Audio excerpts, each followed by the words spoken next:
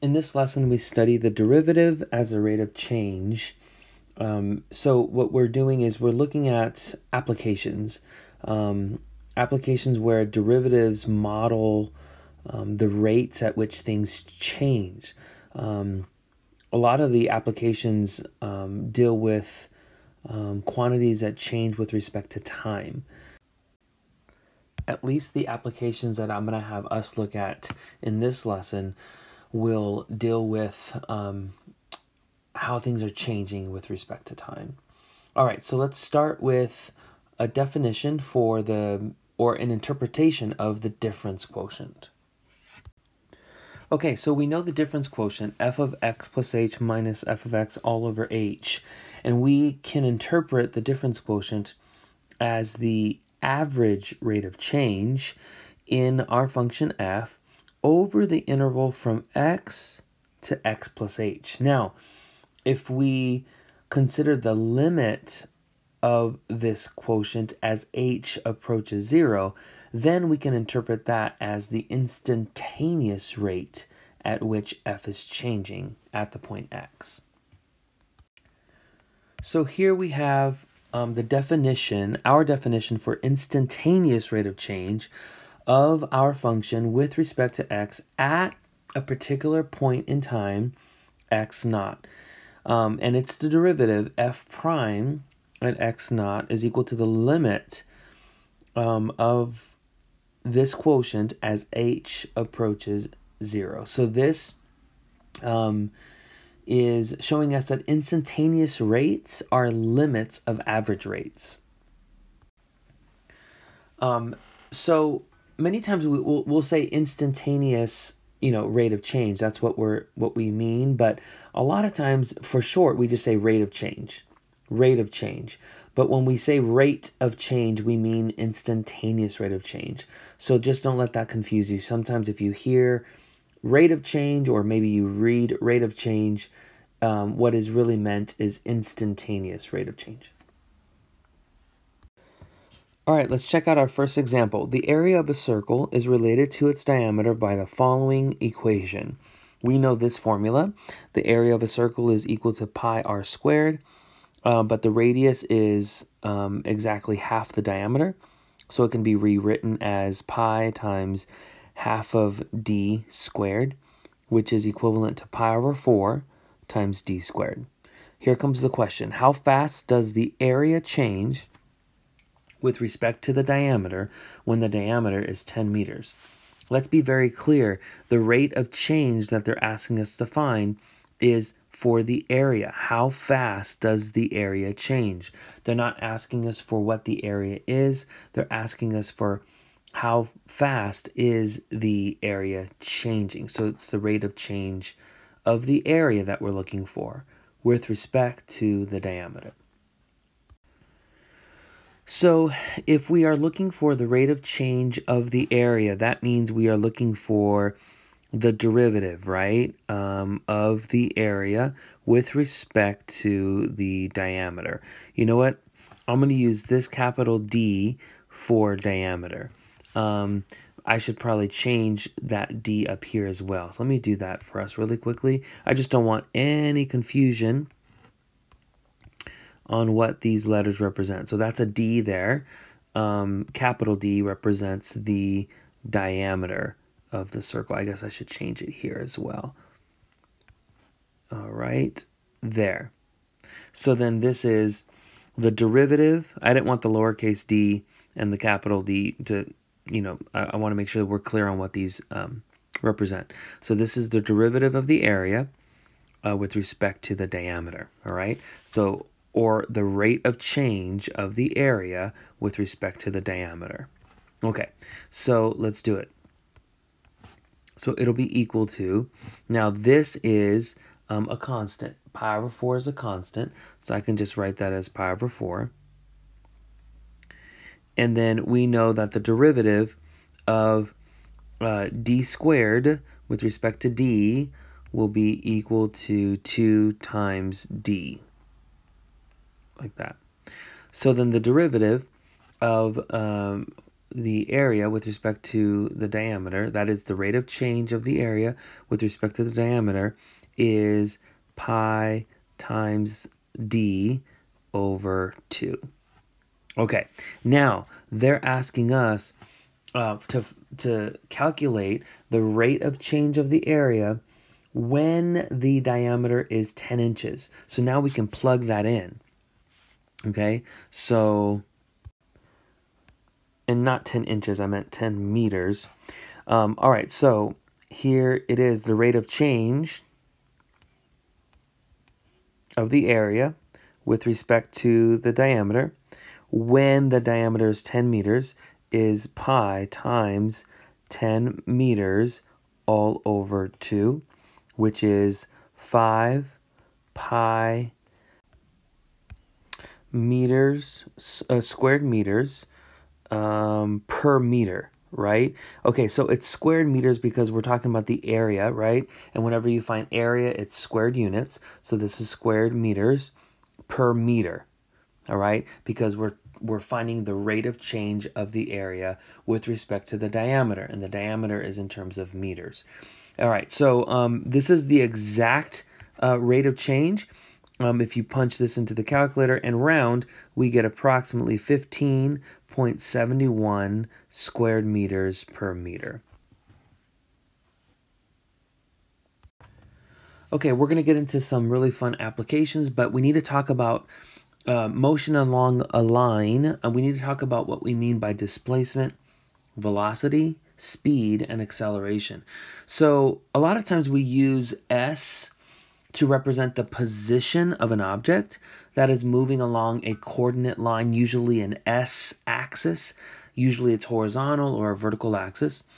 Um, but S represents the position of that object, and the position is a function of time t. So we will say S is a function of time t. So S is f of t. Now, displacement of the object over over time is defined as follows. Now, the displacement of the object over the time interval from t to t plus delta t. Now, remember, we use this Greek letter delta to just represent the, the change in time, okay, the change in time. The displacement of the object will be delta s, which means uh, the change in the position Okay, that's what we mean by displacement, how the position of the object has changed. And it's equal to f of t plus delta t minus f of t. Now, the average velocity of the object over that time interval is, well, this is how we write average velocity. So this is a subscript with AV meaning average. The average velocity is the quotient of the displacement and the travel time, right? So the change in the position of the object over the change in time, okay? Delta S over delta T. And uh, the change in S, the change in the position of the object, is this difference here. And then the denominator is the change in T. All right. Awesome. So, um, besides telling how fast an object is moving, right, the velocity tells the direction of the motion. All right. So, that's um, so important that we understand velocity is not just telling us um, how fast the object is moving, but it's telling us direction of the motion as well. All right, very good. Now, when we speak about speed, speed is simply the absolute value of velocity. So, speed measures the rate of progress regardless of direction. Okay, regardless of direction. So, the speed is the absolute value of the velocity. Let's, let's write that down. So, we have speed is the absolute value of the velocity, which is the absolute value of ds dt right? So the derivative of the position function with respect to t, the derivative of the of the position function. Remember, S stands for the position of the object. So the derivative of the position function with respect to time, with respect to t, that is that is the velocity of the object, and the absolute value of that velocity is the speed. Now for acceleration. Now, what's really interesting is the rate at which a body's velocity changes is the body's acceleration. The acceleration measures how quickly the body picks up or loses speed. Um, so here, acceleration is the derivative of velocity with respect to time t.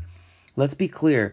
We're saying um, velocity is the derivative of the position function.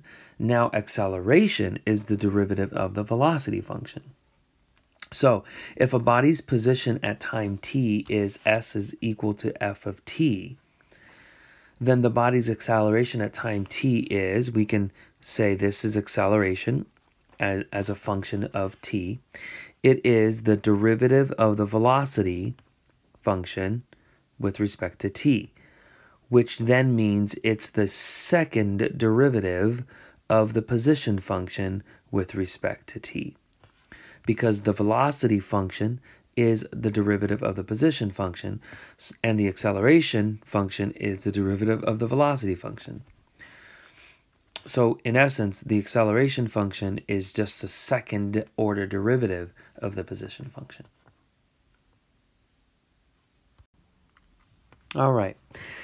A dynamite blast blows a heavy rock straight up with a launch velocity of 160 feet per second it reaches a height of s is equal to 160t minus 16t squared um, feet after t seconds. Here come the questions. How high does the rock go? What are the velocity and speed of the rock when it is 256 feet above the ground on the way up and on the way down? What is the acceleration of the rock at any time t during its flight? And when does the rock hit the ground again?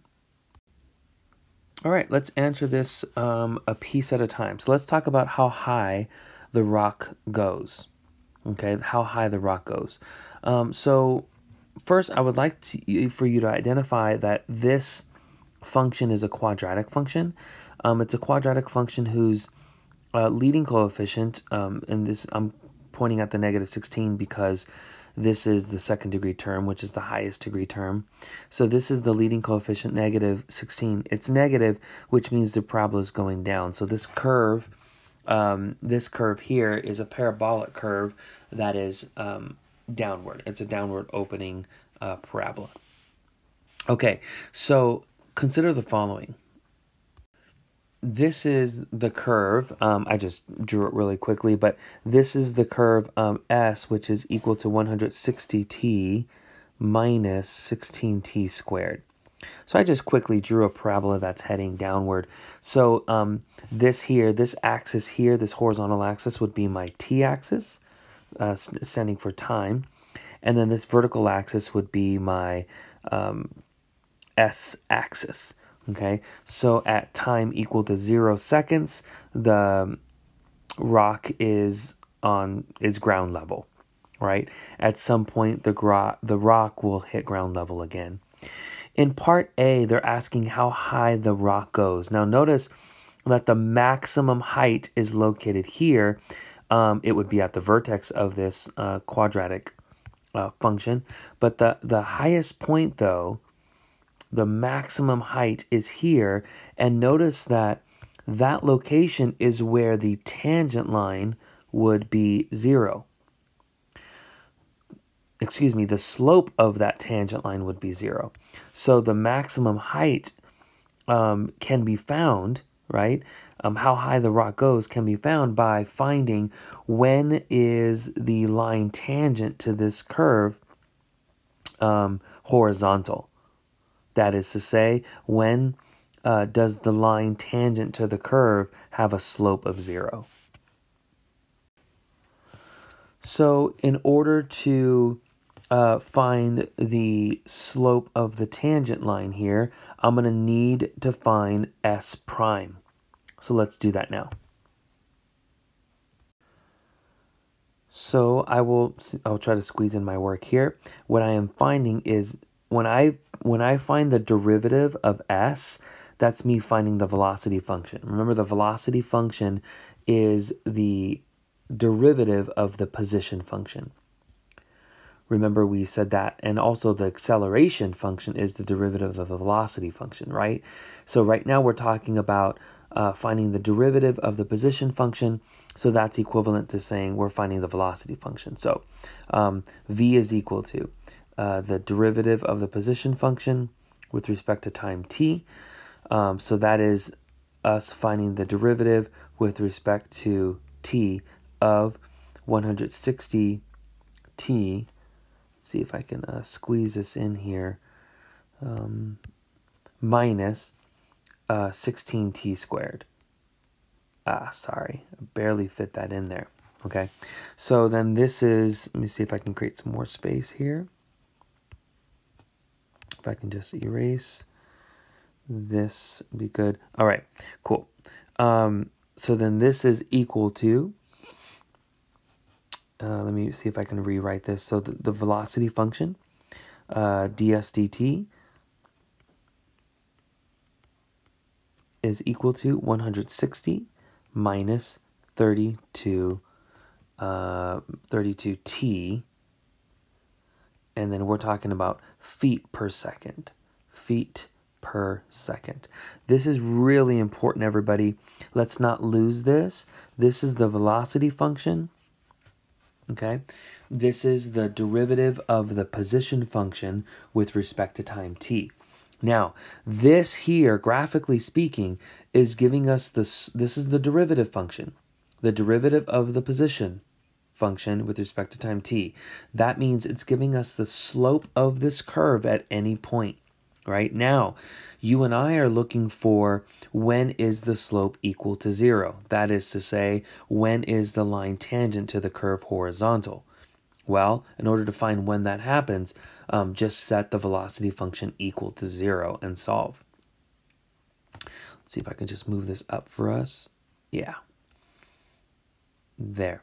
All right, so what I'm going to do now is I'm going to take v, right, our velocity function, and I'm going to find when is this um, equal to 0.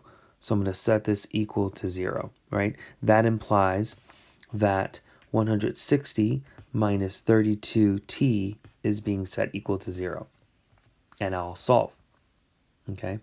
All right. So um, that means, that implies that 32t is equal to 160 that implies that t is equal to uh, 5.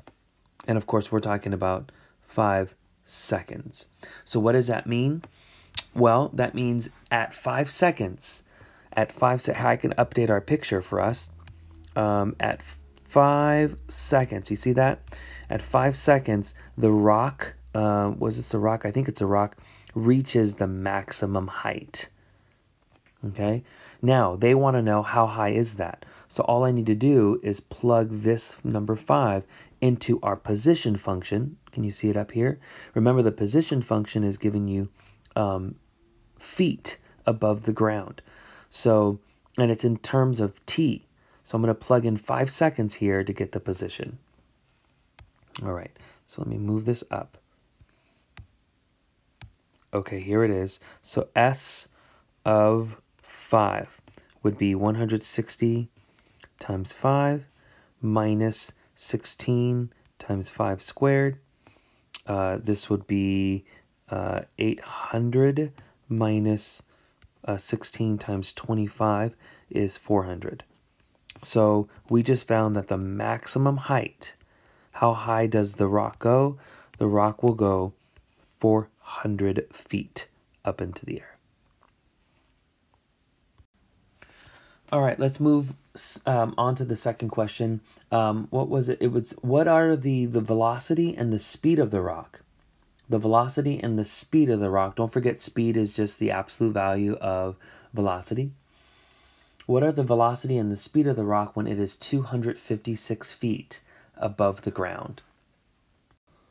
256 feet above the ground. Let me move this board up here.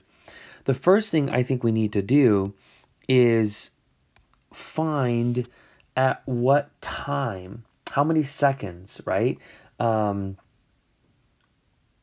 will the rock be 256 feet um, above the ground? Um, because if we can find at how many seconds, right, at what point in time it's 256 feet um, above the ground, then we can evaluate our velocity, right, at those t values. So this is what I mean. S of t is giving us the position of our rock, and we want to know when is that 256. Okay, so what we do is we have a function, a quadratic function, set equal to 256 because they want us to find the the velocity and the acceleration, right? Or the speed, excuse me, the velocity and the speed when the rock is 256 feet above the ground. All right, so I'm, I'm finding when that occurs, when that occurs. Okay, so what we can do then is, uh, let's see, we can set this equal to zero and solve, right? So we can say uh, 16t squared minus 160t plus 256 is equal to zero. If you factor out a 16, then you have a uh, you have t squared minus 10t plus 16 is equal to zero. That means you have 16 times t uh, minus 8 times t minus 2 is equal to 0. That means at 8, uh, 2 seconds and at 8 seconds, the rock is 256 feet above the ground. All right, so now that we know that the rock is 256 feet above the ground, two seconds after the explosion, and again, eight seconds after the explosion, now we'll find the rock's velocities at these times. All right, so do you remember that our velocity function, right? Um, we found it earlier. Um, the velocity, I'll write it in, ter uh, in terms of time t. It is 160 minus 32t. Remember that? We found that earlier. So at two seconds, the velocity I'm just plugging that in, is 160 minus 64. So the velocity is 96, and the velocity is in terms of feet per second. Okay, so that's the velocity when the rock is 256 feet above the ground. Now, um, that's the velocity at two seconds, yeah? Now we still need to uh, find the velocity at 8 seconds. So it'll be 160 minus 32 times 8, and this is 160 minus, um, what is this, 256. So this is negative 96 feet per second. So notice that at both 2 seconds and at 8 seconds, the rock speed, the speed, remember speed is the absolute value of the velocity. So the speed is 96 feet per second. Now remember they said on the way up and on the way down, because this velocity is positive at two seconds, then um, this represents the rock on its way up. The rock is moving upward here. This velocity at 8 seconds is negative, therefore the rock is moving downward. Okay? All right, I think we're ready to move on. The next thing they ask us to find is the acceleration of the um, rock um, at any uh, let's see if I can go back to the question. There it is. What is the acceleration of the rock at any time t during its flight? The acceleration. Okay, remember the acceleration is the is the derivative of the velocity function. Okay, so let me write this down.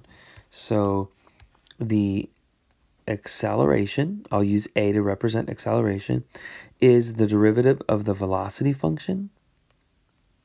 So therefore, uh, with respect to time, with respect to time, it'll be the derivative with respect to time of 160 minus 32t.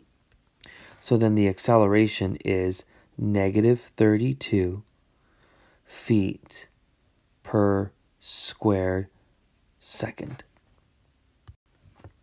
Now, um, this is a negative acceleration. That means the acceleration is always downward. Okay. And um, it must be the effect of gravity, you know, on that rock. Okay. So as the rock rises, it slows down. And as it falls, it speeds up. Okay. Okay, folks, the last thing they ask us to find is when does the rock hit the ground? I think that's how they worded it. Let me go back to the question. Yeah, when does the rock hit the ground again? Okay, so if the if the rock hits the ground, that means s is zero, right? So uh, what I'm going to do is I'm going to set my position function, set it equal to zero, and solve. This will be um, the solution of this equation will be my answer for when the rock hits the ground. So here we go. The position function is 160 t minus 16t squared. That's the position of the rock above the ground in feet. And I'm saying when is it zero feet? When does it hit the ground? Um, let's see. You can factor out a 16t. That'll leave you a 10 minus t, which is equal to 0. So this means t is e equal to 0, um, or t is equal to uh, 10. Okay, so what does that mean? The rock is on the ground zero, at 0 seconds, and again on the ground at 10 seconds later. So this is, um, let me write the units here. 10 seconds. So this would be the answer. When does the rock hit the ground again? At 10 seconds later. 10 seconds after that blast, that dynamite blast.